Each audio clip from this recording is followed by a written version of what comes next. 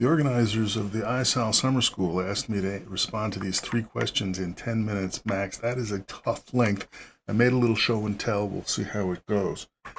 What sparked your interest in artificial life research and how did you get started in this field? You know, it's always been clear to me ever since I was a teeny kid that my mission in life was to make something do something by itself because that is inherently cool. And as I grew up, the power sources changed from, you know, gravity and wind to rubber bands and batteries and black powder and so on. And likewise, my ambitions to make more complex things, do more complex stuff, uh, grew as well. And it wasn't until high school when I was very lucky at the time to encounter one of these, a computer, that it was so easy to make this machine do something by itself. And it would do it exactly the same over and over and over again. It was incredible. And it carried me along uh, through high school, through undergrad and graduate school. And it became part of, you know, there was this, you know, I think every thinking person has to, uh, you know, confront the big questions at some point. Uh, you know, what, what's it all about? What does it all mean? Why am I here? And, you know, it came to me that my job was to produce a theory of Dave. And, you know, if a theory of Dave was also a theory of Sally or a theory of Joe, then that's great. But if it turned out that I was weird in some way, well, then, you know, I'm going to pursue the way that I am and other folks can uh, pursue their own ways. And the computational perspective uh, informed the theory of Dave a lot. Uh, uh but by the time I was graduating uh, from finishing my PhD, uh, uh, Christopher Langton had started this artificial life workshop. The whole idea of, you know, we could build living systems out of artificial stuff and study them.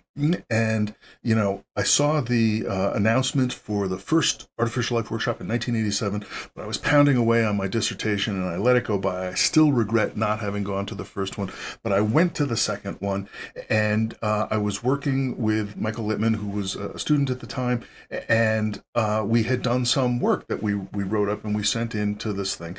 Uh, it got accepted as a poster. Now, I didn't really understand all that was, so I decided, you know, I don't want to be stuck talking at a poster this whole time. So I made a video and I figured I could just leave the video uh, on a TV on a stand and people could watch the thing and then I could go around and look at all the other posters and so forth. But when I got to the uh, Artificial Life Workshop shortly after it began, apparently they had had some cancellations and our paper had been on the bubble, the last, you know, one of the ones that was oh, closest to becoming a talk. So they asked if I wanted to have it uh, uh upgraded my poster to a talk. And I said, okay. It was the very last day of the workshop. Uh, I don't know if it was the very last talk, but it was pretty late. Uh, um, and, you know, so I basically got up and said, well, you know, I wasn't expecting to give a talk, so I made this video and I pressed play and I sat down and, and then I took questions afterwards. It was about 15, 16 minutes. Here is a tiny little taste how I got started in artificial life. I'm Dave Ackley. Let me show you something. I'd like to present the results of some work that Michael Littman and I have done. How can an organism learn during its lifetime, given only its own death as feedback? Here's the data we obtained. Of course, if you took a stable population of natural guys like this and stuck in a couple of those hand-designed guys, they'd take over in a couple of generations, wipe these guys out. I guess that's life. I guess that's life. Uh, um, and you know, did a bunch more models like that, did a bunch of work with Michael Littman, and just took off from there. Number two, can you explain one of your most exciting or surprising findings in artificial life in a way that a beginner could understand? I'm not completely sure. Uh, originally, when I was going to answer this, I was going to go back and, and do another one from the early days, the evolution of communication stuff, uh, uh, because that, that had some cool stuff in it as well. But instead, what I thought I would do is leap 30 years into the present, more or less, and try to show a tiny little demo. We'll see how it goes. Uh, um, whoops. Uh, uh, here we are. Uh, uh, okay, this is uh, the code behind the paper that I'm going to be talking about at the Artificial Life Conference real soon now. And I just wanted to let it start up a little bit.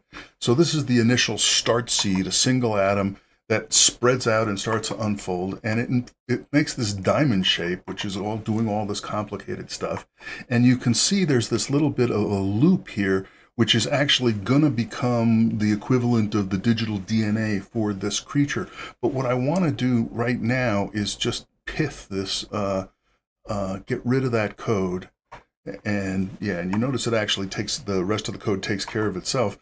Um, just to show you the underlying behavior of the diamond itself, which is the diamond is a circle measured in Manhattan distance. So these are these are really kind of spherical cells loosely, and you see the thing grows.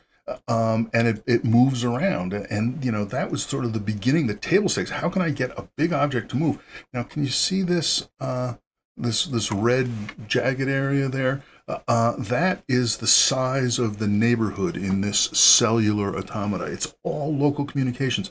We asked that guy in the middle, that thing labeled HG, said, what do you want to do? And it can look at all of this stuff in that little red lines and decide what to do. It can change itself. It can change the stuff that's in there or both, whatever it likes. But then it's done and it goes on and some other event happens someplace else and you can see them flashing around. That is the whole gist of it. Um, but we can build up and build up to, let me, let me get a, some wall here. Okay. Uh, uh, so you see the thing moving around, but you know, like we can make an, an obstacle, right? Uh, um, and it moves away. The thing moves away from the obstacle. We can make another obstacle, you know, uh, um, and so on. And the thing reacts. So even though these things are made of these tiny, tiny little windows, uh, and there's no global communication, there's nobody in charge. There's just this complex set of rules, which you know I wrote in this particular case. Uh, uh, oh, you see the thing actually is like growing now as well, and so on. So this, I think, is a, a lot of fun. To me, it, it's satisfying uh, you know, 30 years after uh, uh, doing the uh, interactions between evolution and learning. I mean, that was fun too. But this takes it to a whole nother level because I did not program the organism directly. Now we're programming the chemistry, we're programming the physics underneath, and then observing this stuff. And so, for example, uh, uh, you know, I don't know if this is going to work. This is probably a mistake, but what the heck? Um, you know, I can come here and erase a bunch of this. Uh, um, and it regrows and there's a and it regrows and it successfully moves again because it grew from a single atom uh, to begin with it had to deal with the vagaries of being uh, running into obstacles and so on and so forth uh, um, so i think this is this is very exciting and whether it makes any sense well, it, it, does. You get it, right? Uh, uh, you can you you can make these things, and then you step back, and they do stuff by themselves. So, uh, uh, all right. Bespoke physics, artificial chemistry. That's what we're talking about. Number three. What is one big unanswered question in artificial life that you think could be important in the future? Now, this is going to seem like a stretch, and maybe it is, but it's my sincere answer. I think one big unanswered question is how can artificial life science and engineering help save democracy and make a more just and robust society? And, you know, to me, the big picture, uh, all of this stuff, making something do something by itself, uh, is all about studying how machines work. And very quickly, you move past a single machine that's completely deterministic, and you get collections of machines, and you get uh, redundancy, and you know even the people that do the the the domino setups that look like it's a single step by step by step. When you talk to the folks who do the really big ones, they have all these tricks, like they have alternate paths that the things are running down, so in case there's a screw up on one path, the whole thing doesn't get lost, and so on. And all of that comes to the front when you take this idea of indefinite scalability seriously that we're going to build machines that you can make them bigger and bigger and bigger and bigger instead of idea that you have a CPU and a RAM and that's it it's fixed you know once you run out of space there then start over so i believe A-Life can be the poster child for this alternate approach. Instead of top down, maintain control, flatten everything out, cut out the middleman, all efficiency, no robustness, Bottom up says uh, encourage agents that learn skills and then put those agents together to contribute their skills and collaborations. And that is going to be the basis of a more just and robust society. We'll see.